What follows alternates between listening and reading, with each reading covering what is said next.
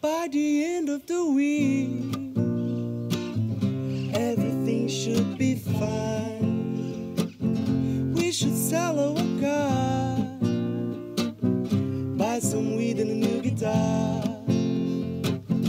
By the end of the week, By the end of the week, everything should be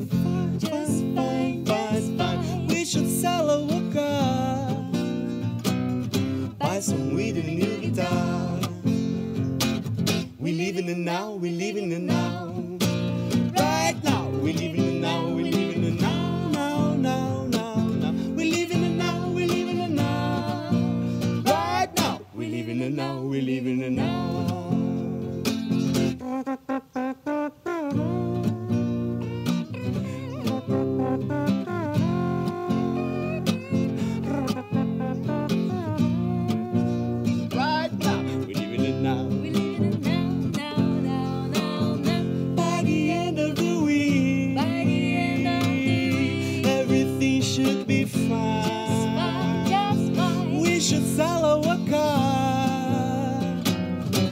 Buy some weed and a new guitar. We live in the now, we live in the now. Right now, we live in the now, we live in the now. Now, now, now, now, now, now. Right now, We live in in the the now, now, we live in the now.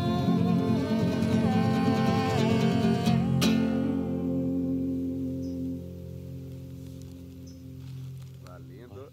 Tá filmando. Cheguei, vamos lá na hortinha, meu bem. Vamos.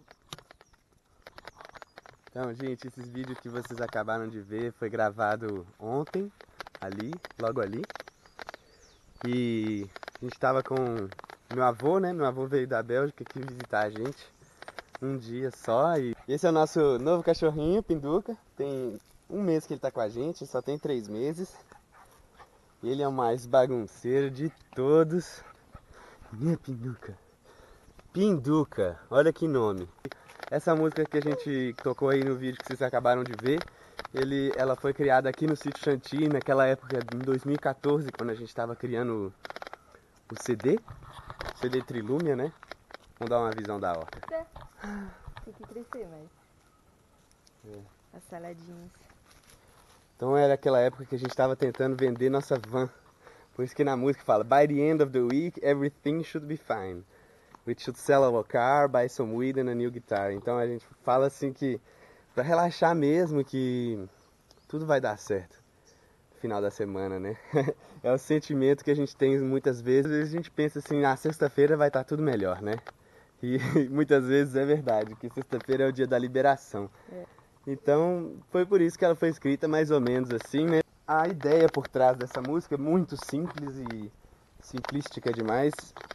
Tão simples quanto as nossas beterrabas aqui que estão morrendo de sede. Aqui.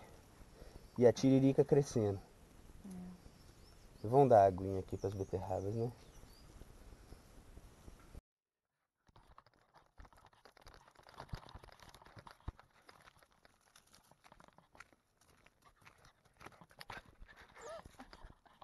Tô tentando pegar a câmera, velho. Vem cá.